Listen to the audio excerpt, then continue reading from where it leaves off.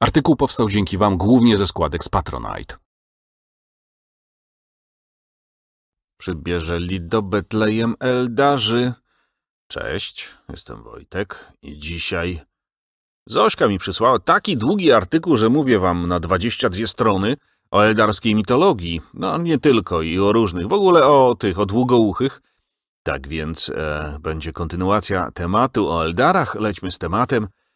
Mitologia e, eldarska to zbiór starożytnych legend, które stanowią fundament eldarskiej historii. Mitologię tworzy panteon kilku bogów, którzy zostali w większości zniszczeni wraz z milionami innych eldarskich dusz przez tą, który pragnie podczas upadku eldarskiego imperium. Według wielu podań nowy eldarski bóg Ineat, który nie jest częścią oryginalnego panteonu, został niedawno przebudzony z dusz zmarłych Asurian, znajdujących się w obwodach nieskończoności.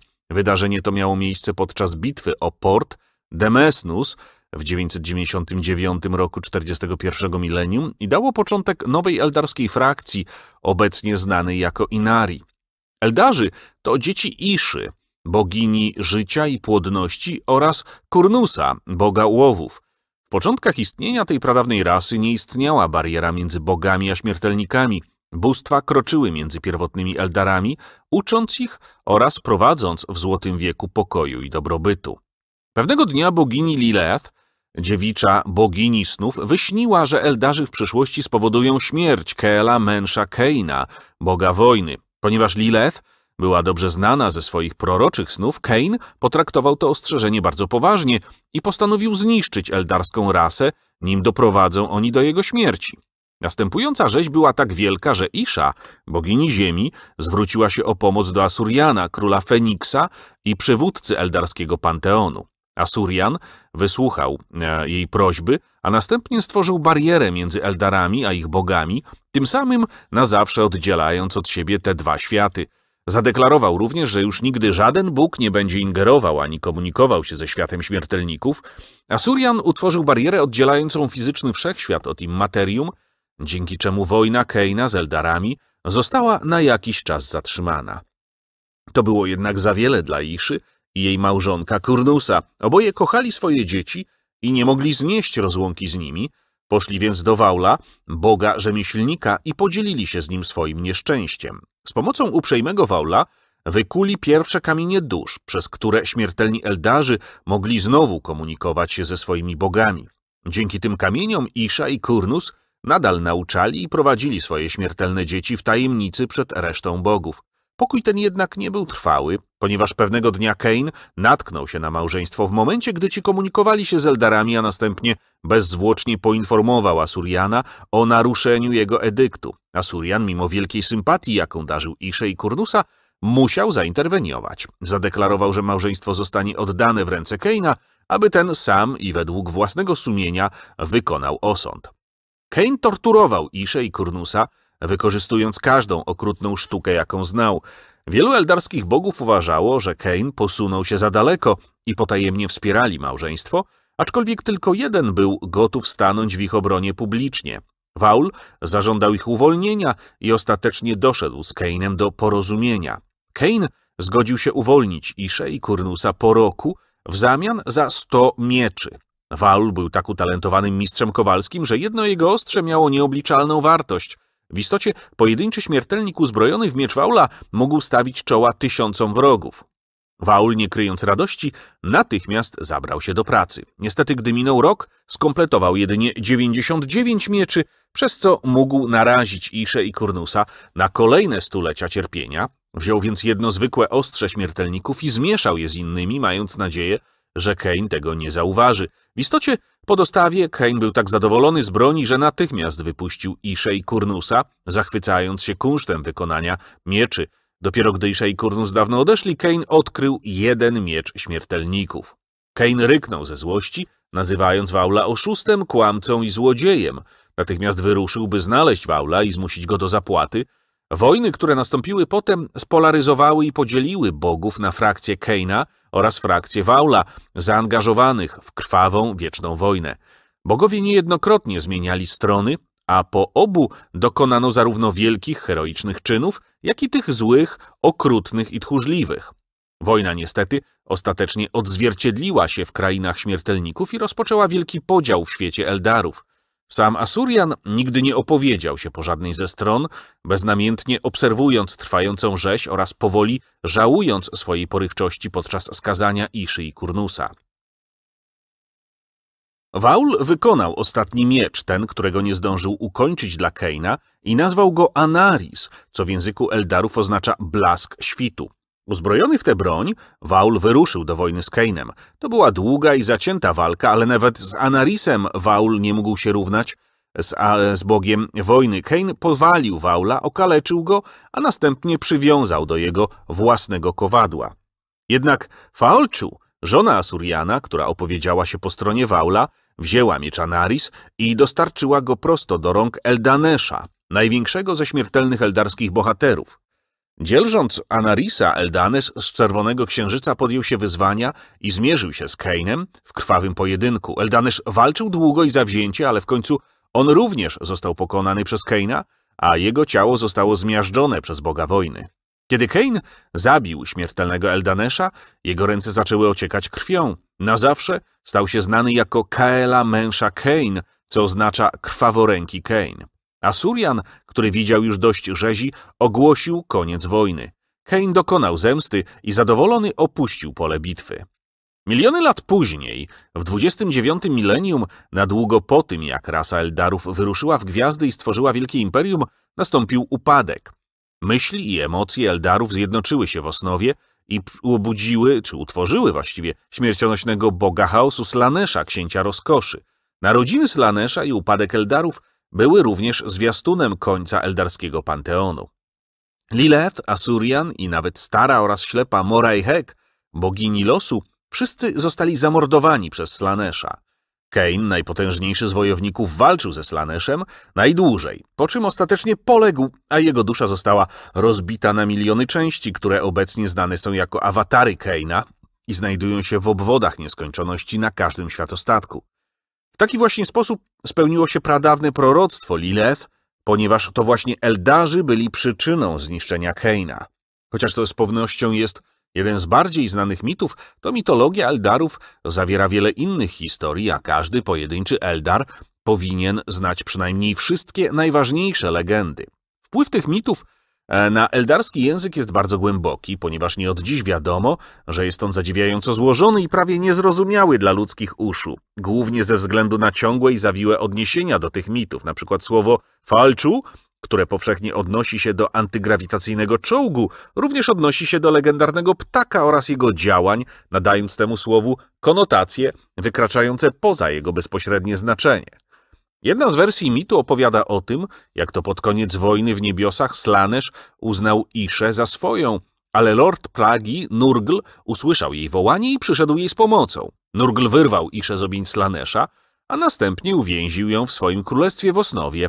Mówi się, że podczas gdy Nurgl jest zajęty swoimi plagami, Isza szepcze do śmiertelników ze wszystkich ras, próbując im przekazać informacje dotyczące lekarstw na wszystkie choroby sprowadzane przez lorda Plag.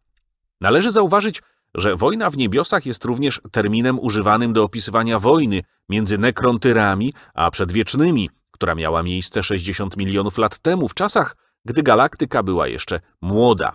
Ta wojna nie jest tym samym, co konflikt o identycznej nazwie, który został opisany w mitach Eldarów, chociaż niektórzy imperialni uczeni, a nawet sami Eldarzy twierdzą, że jeden mit jest oparty na drugim.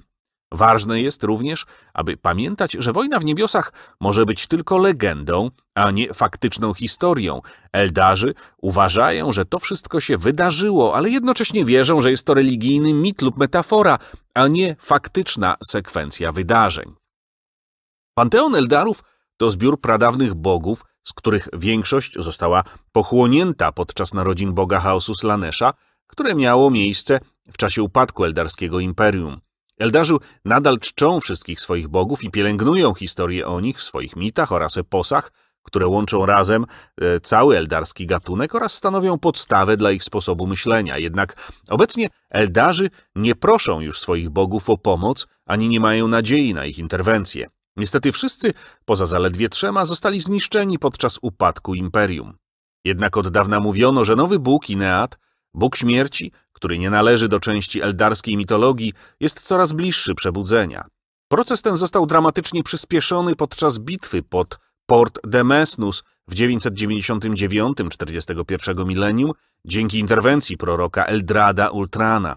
Częściowo przebudzona w immaterium świadomość Ineat sięgnęła przez galaktykę i wybrała Ivrain, córę cieni, na swoją prorokinię i najwyższą kapłankę. Ivrain założyła nową eldarską frakcję zwaną Inari, która w erze Indomitus stara się zjednoczyć wszystkie eldarskie frakcje znajdujące się w galaktyce, aby ostatecznie zniszczyć księcia Slanesha oraz przywrócić Eldarom dawno utraconą chwałę. Jacy są żywi eldarscy bogowie? Kaela Mensha Kane. Krew płynie, gniew rośnie, przebudzenie śmierci, zew wojny. To część bitewnego okrzyku krwaworękiego Keina. Tu mi Zośka pisze, że wymawiane Keila Mensia Kane jest jednym z zaledwie trzech ocalałych eldarskich bogów. W starym panteonie zajmował drugie miejsce zaraz po samym królu Feniksie, Asurianie i często był przedstawiany jako wróg boga Kowala Waula. Jest także najbardziej gwałtownym, nieobliczalnym i lekkomyślnym ze wszystkich, ze wszystkich bogów. Asurian był tak oburzony zamordowaniem przez Keina śmiertelnika Eldanesza, że z tego powodu przeklął Keina, sprawiając, że jego ręce wiecznie ociekają krwią Eldanesza, aby wszyscy na zawsze już pamiętali jego potworną zbrodnię. Kain jest bogiem kojarzonym z bitwą, wojną oraz konfliktem. Wielu imperialnych uczonych uważa go za przykład rasowej eldarskiej pasji manifestującej się podczas bitew oraz wojen. Kela Mensia nie jest częścią imienia Keina, ale w rzeczywistości jest tytułem, którym został obarczony. Kaela Mensia podczas można przetłumaczyć z języka eldarskiego jako krwawe ręce – Odniesienie do krwi, która wiecznie skapuje z jego dłoni jako przypomnienie jego bestialskiego morderstwa na śmiertelnym bohaterze Eldaneszu. Podczas odbywającej się miliony lat temu wojnie w niebiosach, między przedwiecznymi a nekronami, Kain walczył przeciwko Ktan, znanym jako Nocny Zwiastun. Po długiej bitwie pokonał go i zniszczył jego nekrodermis, aczkolwiek powstałe odłamki metalu przebiły jego własne ciało – Mówi się również, że, wydarzeniu, że to wydarzenie przyspieszyło ostateczny upadek Eldarów, ponieważ Ktan, nocny zwiastun, zaszczepił strach przed śmiercią we wszystkich śmiertelnych istotach z wyjątkiem orków, co tylko wzmocniło i tak już głęboki instynkt samozachowawczy Eldarów. W głębinach osnowy istoty zrodzone z czystej energii psionicznej mogły podczas zgiełku wojny w niebiosach ucztować na tych skrajnych uczuciach i emocjach, uruchamiając tym samym łańcuch wydarzeń, które na zawsze zamknęły ścieżkę odrodzenia dla eldarskich dusz. Kain jest jednym z trzech ocalałych bogów Eldarów. Jakiś czas po upadku Eldarów w 30 tysiącleciu, liczonym według imperialnego kalendarza, nowonarodzony bóg chaosu Slanesh zaatakował Keina, tak samo jak resztę bogów z całego eldarskiego panteonu. Chociaż ich walka była zaciekła, Slanesh zdążył już wchłonąć moc wielu miliardów upadłych dusz śmiertelników i ostatecznie powalił Keina. Jednak zanim książę chaosu zdołał go wchłonąć, pojawił się Korn. Bóg chaosu, odpowiadający za wojnę, wtrącił się do walki i stanął ze Slaneszem do pojedynku o potęgę Keina. Korn stwierdził, że eldarskie bóstwo jest jego własnością, ponieważ reprezentują te same wartości i siły metafizyczne. Podczas walki między bogami chaosu Kain został wypędzony do świata materialnego, gdzie jego psioniczny rdzeń rozpadł się na tysiące kawałków, każdy z odłamków spoczął w sercach eldarskich światostatków, gdzie został zahibernowany w tak zwanych obwodach nieskończoności. Odłamek może zostać ponownie wskrzeszony i umieszczony wewnątrz upiorytowego konstruktu, by wyruszyć na wojnę, jeżeli tylko zajdzie taka potrzeba. Poświęcając jednego egzarchę w przeddzień bitwy, ten nowonarodzony awatar Keina staje się gorejącą, ożywioną manifestacją Boga. Z ociekającymi krwią rękoma prowadzi eldarską armię z tego światostatku do bitwy. Dokładna natura Keina w eldarskiej kosmologii nie jest zdefiniowana, aczkolwiek z powodu jego interakcji z bogami chaosu wydaje się istotą zrodzoną w immaterium jako sługa porządku w kontrze chaosowi. Niedawne informacje zdobyte przez Imperium sugerują, że Kein oraz reszta bogów eldarskich mogli być częścią pierwszego inteligentnego gatunku zamieszkującego galaktykę.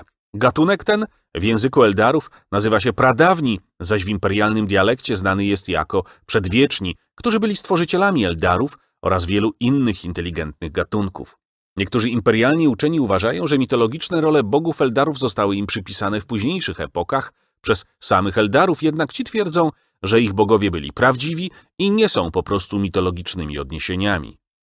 W eldarskiej mitologii to właśnie bogini Isza zainspirowała Asuriana do utworzenia bariery pomiędzy bogami a śmiertelnikami. Isza rzewnie płakała nad zniszczeniem i mordem, które Bóg wojny Cain spowodował pośród jej dzieci.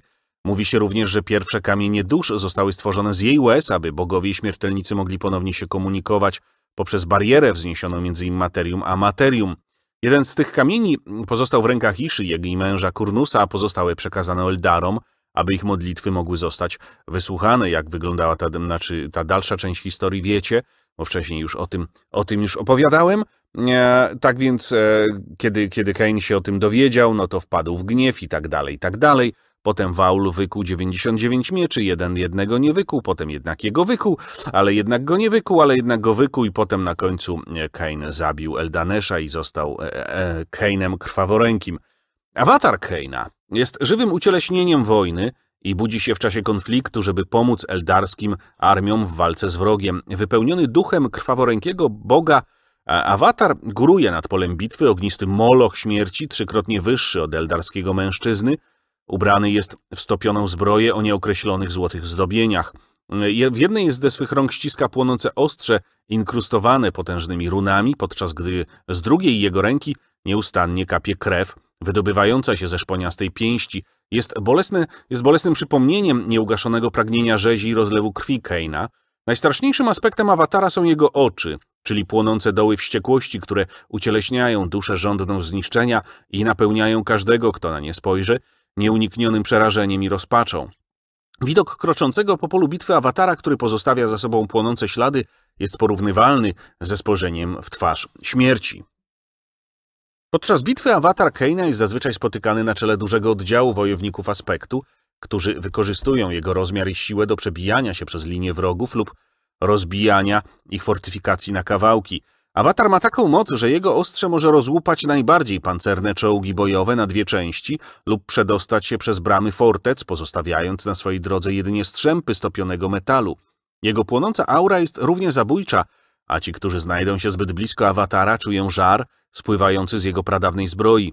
Żar wystarczająco gorący, by spalić ciało i podpalić włosy oraz ubranie. Pomiędzy płytami zbroi skóra awatara jawi się jako magma, głęboka czerwień i połyskująca czerń, która opływa jego gargantuiczne ciało. Awatar jednak nie cierpi z bólu, wręcz przeciwnie. Magma obmywa go niczym woda, a ci, którzy byli świadkami tego niezwykłego zdarzenia, bezapelacyjnie twierdzą, że widzieli prawdziwego Boga wojny. Awatar budzi się tylko wtedy, kiedy wynika taka potrzeba, a przez większość czasu pozostaje jako pusta skorupa, pozbawiona życia i celu. Każdy światostatek ma swój awatar w postaci zimnej i pozbawionej życia części, zwęglonej, pradawnej zbroi Boga wojny. Kiedy zbliża się bitwa, Eldarzy wybierają spośród swoich egzarchów śmiałego wojownika, który posiada wolę i odwagę, by stać się ofiarą dla krwaworękiego Boga. Znany jako Młody Król, ten wybrany wojownik zostaje zabrany do głębokich komnat, w których znajduje się skorupa awatara i podczas sekretnego oraz złożonego rytuału zostaje przekazany w ofierze Kainowi, aby jego esencja mogła wypełnić awatar, dając mu wściekłość i moc, by mógł wyruszyć na wojnę. Po zakończeniu rytuału młody król zostaje całkowicie pochłonięty przez awatar i przestaje istnieć takim, jakim był kiedyś. Niemal natychmiast zbroja awatara zaczyna się dymić oraz się wypalać, podczas gdy runy na jego ciele i mieczu zaczynają świecić. W końcu oczy awatara stają w płomieniach, a potężna sylwetka wstaje ze swojego grobowca, aby poprowadzić eldarskich wojowników przeciwko wrogom światostatku. Po wykonaniu zadania awatar powraca na światostatek, jego zbroja stygnie, a ogień znika z jego oczu i ponownie zasypia. Nie ma już śladu po młodym królu, jego duch zgasł i być może zasiadł u boku samego Keina, jak wielu innych młodych królów przed nim, bądź zostaje zagubiony na zawsze w falach immaterium jako kolejna eldarska dusza zmierzająca ku nieuchronnemu upadkowi. Ludzie rzadko spotykają awatar Keina, chyba że idą na wojnę przeciwko Eldarom lub zawierają z nimi sojusz. Ku swemu lamentowi Imperium Człowieka wielokrotnie stawiało czoła Eldarom w długiej, krwawej historii obu gatunków, jednak zapisy dotyczące i opisujące awatara oraz rzezi, jaką dokonał na ludzkości, można znaleźć jedynie w księgach niektórych bardziej śmiałych, wolnych handlarzy. Jednak słownych interpretacji awatara jest tyle, ile relacji, a większość z nich jest ze sobą sprzeczna – Niektórzy porównują awatar do wojennej machiny, podczas gdy inni twierdzą, że widzieli demona, biorąc pod uwagę postać gigantycznego wojownika Eldarów. Wszyscy jednak zgadzają się, że awatar wywiera ogromny wpływ na Eldarów, którzy maszerują tuż obok niego. Kane dodaje im odwagi i napełnia zazwyczaj wiotkich Zino głęboką i gwałtowną rządzą wojny. Uzgodniono również, że stworzenie to wydaje się esencją ognia, a jego krew jest najczystszą magmą, podczas gdy ciało wykuto z płonącej skały. Chociaż zdarzają się rzadkie przypadki, w których został powalony w bitwie, to płomień z jego oczu oraz ostrza zawsze wydaje się unosić nad polem bitwy. Jeszcze taka ciekawostka, w uniwersum Warhammera Fantasy Kane czczony jest głównie przez mroczne i wysokie elfy, jednak w tym wypadku jego pełny tytuł to Kela Mensha Kane z pierwszych H, którego nie ma w tłumaczeniu z języka eldarskiego. Znaczenie, czyli krwawa ręka krwaworęki pozostaje takie samo w obu przypadkach. Wysokie elfy czczą e, Kane'a jako boga bitwy, podobnie jak robią to Eldarzy. Czczony jest głównie w czasach wojny, ponieważ postrzega się go jako krwiożercze bóstwo, a czczenie go w czasach pokoju uważane jest za niewłaściwe. Kane miał silny wpływ na formowanie się Królestwa Wysokich Elfów, ponieważ pierwszy król, Feniks, Enerion, dobył miecz Kane'a, aby uratować Wysokie Elfy podczas ich pierwszej wojny z chaosem. Wyciągając miecz Ener Enerion, e, Enarion mm, stał się żywym awatarem Boga Wojny i rzucił na siebie oraz na swoją rodzinę wielką klątwę. Ta klątwa nadal wpływa na obecnych spadkobierców spuścizny Enar e e Enariona, czyli na bliźniaków Tyriona oraz Teklisa. Kane, czczony przez mroczne elfy, opisywany jest jako Bóg mordu. To oczywiście pasuje do surowego społeczeństwa mrocznych elfów, które postrzegają każdą oznakę słabości jako fatalną wadę. Święta poświęcone Kainowi, takie jak Noc Śmierci bądź Żniwa Dusz, niezmiennie wiążą się z zabijaniem. Mroczne elfy zabijanie traktują jako formę sztuki i chętnie mordują każdego, czy to przyjaciela, czy wroga, kto przejawia jakąkolwiek wrażliwość. Główna świątynia Keina znajduje się w mieście fortecy e, Harganet w Nagaroth. Jest to siedziba wielkiej mocy, ponieważ kult Keina jest oficjalną religią wszystkich mrocznych elfów. Morati, królowa matka i starucha Helebron, najwyższa kapłanka świątyni, twierdzą, że dominują nad świątynią, co oczywiście często prowadzi do konfliktów. Ta walka o władzę jest kontrolowana przez Malekita, króla mrocznych elfów. Sugerowano, że Kane jest bogiem chaosu Kornem pod innym imieniem lub być może pomniejszym aspektem Korna, który zyskał własną świadomość. Jest to oczywiście gwałtownie kwestionowane przez mroczne i wysokie elfy, które postrzegają Korna jako prymitywną bestię w porównaniu z wyrafinowaniem i subtelnością, która definiuje ich boga Keina. Mm, takie samo zdanie posiadają wszyscy nieliczni ludzcy czciciele Keina. Wśród ludzi ze Starego Świata Kane jest postrzegany jako młodszy brat Morra, boga umarłych, i jest czczony jako pan mordu przez zabójców i innych zawodowych morderców. Mówi się, że Kane jest zazdrosny o panowanie Morra nad umarłymi, a tym samym o śmierć. Z tego powodu stara się ukraść jak najwięcej dusz, aby wypełnić swój własny świat podziemny. To z jego królestwa śmierci niektórzy ludzcy nekromanci przyzywają dusze, które następnie zniewalają. Kane może kraść tylko te dusze, które zostały mu bezpośrednio złożone w ofierze lub które nie przeszły odpowiednich rytuałów pogrzebowych i dlatego nie są chronione przez Morra. Jeszcze taka niezgodność w kanonie, Zośka tu wyłapała, ale pewnie nie tylko ona, dokładna natura Keina w kosmologii Warhammera 40 tysięcy pozostaje nieokreślona i sprzeczna, chociaż z powodu jego interakcji z bogami chaosu wydaje się on być istotą zrodzoną z osnowy, oczywiście nie taką, jaką z natury są niszczycielskie moce. Niektóre źródła opublikowane przez Games Workshop, takie jak księga Ksenologia autorstwa Simona Spurriera, sugerują, że Kane i reszta eldarskich bogów to w rzeczywistości przedwieczni, którzy byli stworzycielami Eldarów oraz wielu innych inteligentnych gatunków zamieszkujących wszechświat, znany z uniwersum Warhammer 40 tysięcy, takich jak orkowie, a nawet sama ludzkość. Inne źródła Games Workshop sugerują, że potężni psioniczni Eldarzy sami zostali stworzeni przez przedwiecznych, aby wytworzyli żywe manifestacje ich zbiorowej nieświadomości rasowej, w osnowie, której można było następnie użyć jako potężnej broni przeciwko Ktan podczas oryginalnej wojny w niebiosach. Po tym jak przedwieczni zostali pokonani przez nieśmiertelnych nekronów, Eldarzy przybyli, by czcić swoje własne psioniczne kreacje jako bogów. I to tyle, jeśli chodzi o dzisiejszy odcinek. Dłuższy nam wyszedł, co fajnie. Tak na gwiazdkę dostaliście. Taka, tak więc e, to jest pierwsza część e, eldarskiej mitologii i na pierwszy rzut mieliśmy e, Keina. W następnym będzie o Segorach. Zobaczymy śmiejący się Bóg, wielki arlekin, wielki głupiec, pierwszy głupiec, tak jest zwany również inaczej. Będzie o Segorach. Ja dziękuję Wam bardzo serdecznie za dzisiaj. Dziękuję wszystkim, którzy mnie wspierają, którzy wspierali mnie w tym roku. Tak na gwiazdkę, że tak powiem, życzenia. A, którzy dołączają się, czasem odchodzą już. Mm, tak, taka jedna sytuacja przypomniała mi się. E, Kamil, który długo, długo wspierał, w pewnym momencie napisał mi maila, że tyle jest reklam, że musi odejść, że już nie daje rady. E, Jesteście zwolnieni, ci, którzy, e, znaczy, wiecie, to jest wasza dobra, taka wolna wola. Wspieracie, możecie oczywiście te reklamy pomijać, one się tam gdzieś pojawiają. A no, ci, którzy mogą w ten sposób wspierać, również chwała wam za to. A, dziękuję wam bardzo wszystkim, którzy również w tym roku mm, tam u Magdaleny kupili jakąś biżuterię. Wszystkich mam wymienionych. Paweł ostatnio tam widziałem, nawet dostałem linka.